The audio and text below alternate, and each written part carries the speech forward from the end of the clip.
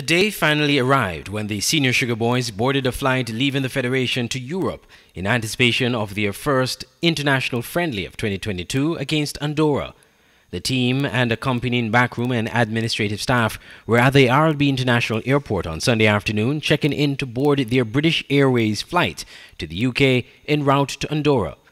Coach Austin Huggins was pleased with the preparation put in by the team over the weeks and months and is looking to see the team play as a unified unit in that match. Well, we are very confident. The guys are very happy to be going to Europe to represent St. Kitts Nevis.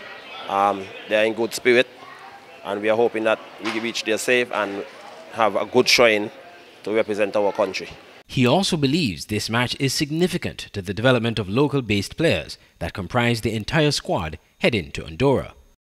Well, this is very important because we, over the years, much of, much of our players, they were not given the opportunity to represent the country. And um, most guys normally come from overseas, England, Canada, America, and I guess some other countries. But now um, they will be more motivated to play for our country once more.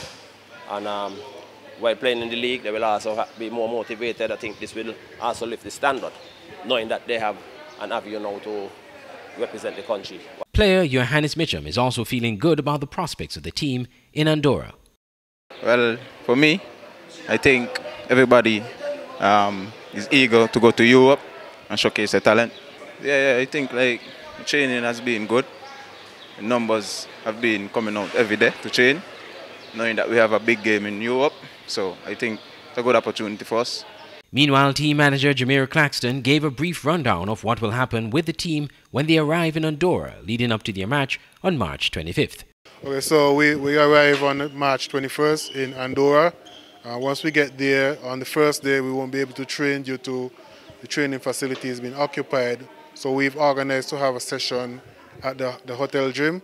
So that is in place and then from there, leading up to match, we train once every day, trying to acclimatize both to the the climate and also to the field conditions because we're going to play on artificial turf. So the first few days before the game is just to acclimatize to the conditions in Andorra. All the best to the Sugar Boys as they represent the Federation in Europe.